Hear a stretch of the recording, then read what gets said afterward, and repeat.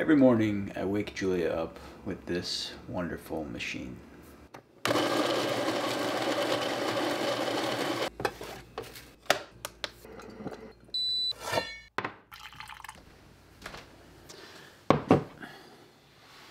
usually I put a towel over it to deaden the sound. And that works pretty well, but it's a little cumbersome and I like to build stuff on this channel.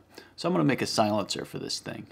So I think there's two sources to the sound here. Obviously we have the grinder up top, but a not so obvious source is from the vibration down through the countertop.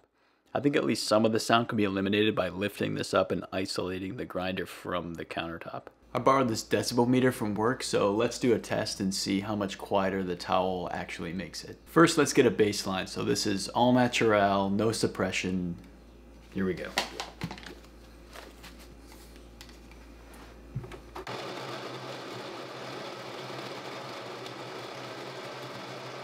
About 84.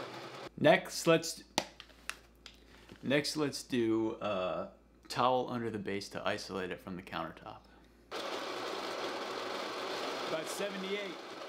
And finally, we'll just cover it up with the base isolated. See total suppression. How what does that do? 79? 80?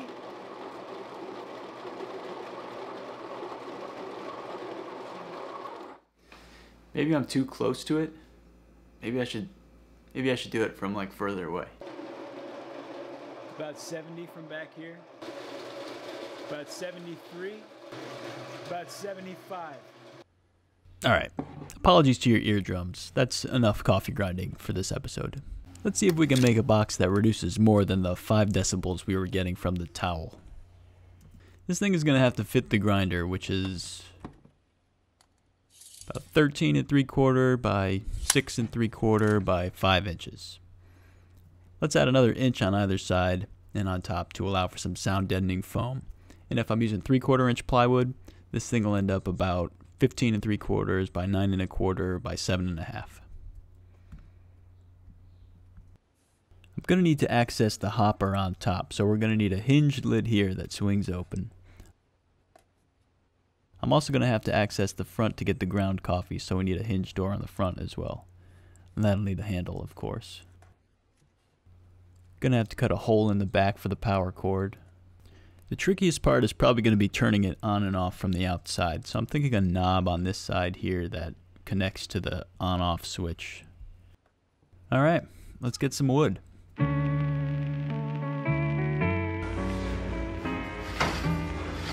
Now, I live in Brooklyn, so I don't have space for my own shop, so I have to rent time at this wood shop in Gowanus. Shout out to Makeville Studio, it's a great space.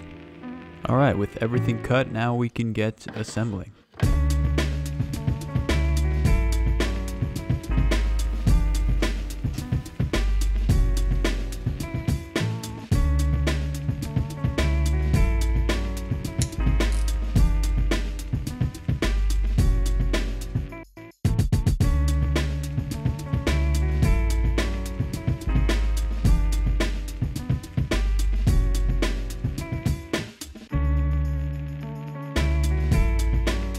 This point, I'm thinking about how I want to locate the hole for the control knob.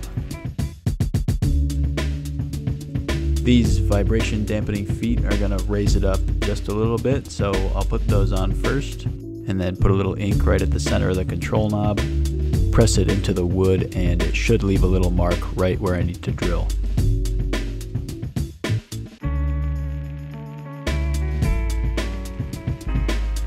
Taking a quick trip to the lathe now to machine the shaft for the control knob. It'll be super simple, 3 8 diameter for most of it, with one end at quarter inch to fit into the outer knob.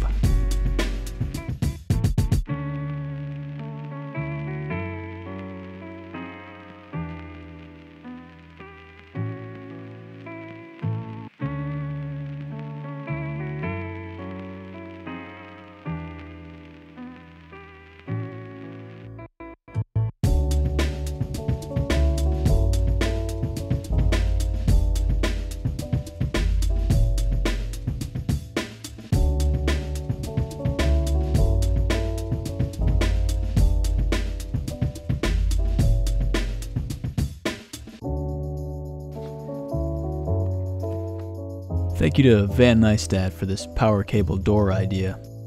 I just wish they made these hinges in steel instead of brass to match the other hardware.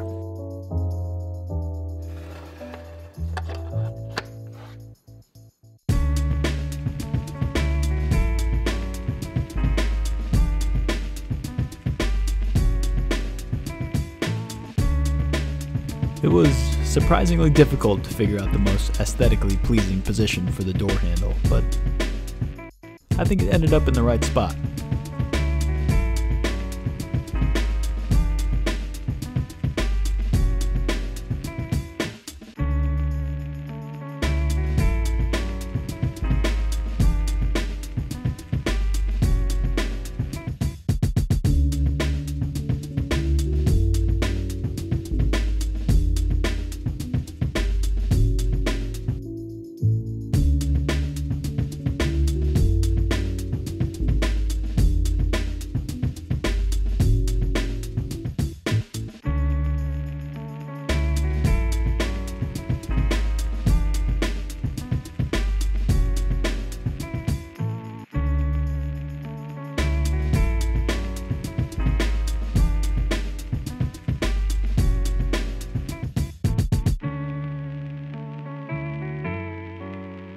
These little magnets really did not go according to plan. Had a tough time getting them in, and then I mounted the strike plates in the wrong spot. After all that, they didn't even hold the lid down, so I guess they're just gonna have to be decorative.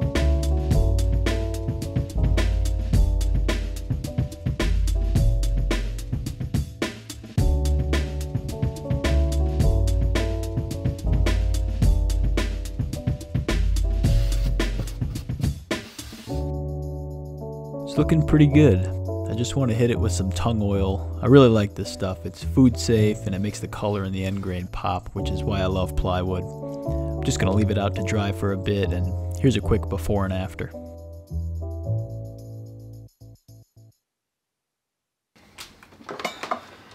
Moment of truth.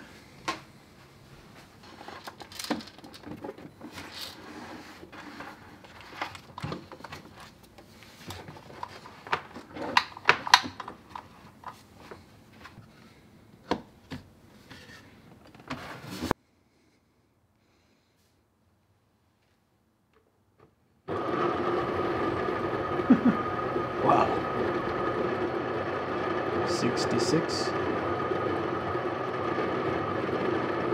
At 67. So it's definitely an improvement. Remember, with the meter up close and no suppression, we were seeing about 84 decibels.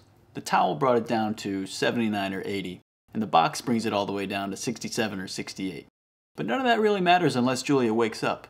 So let's see if it passes the final test.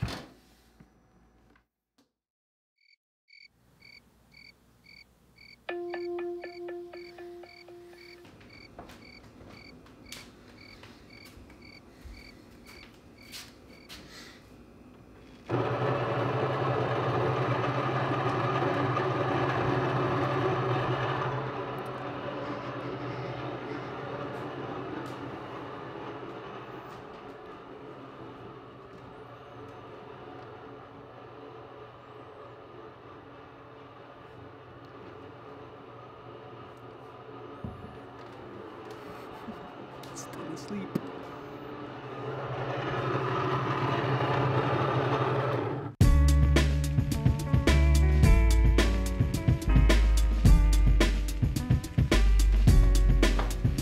How'd you sleep?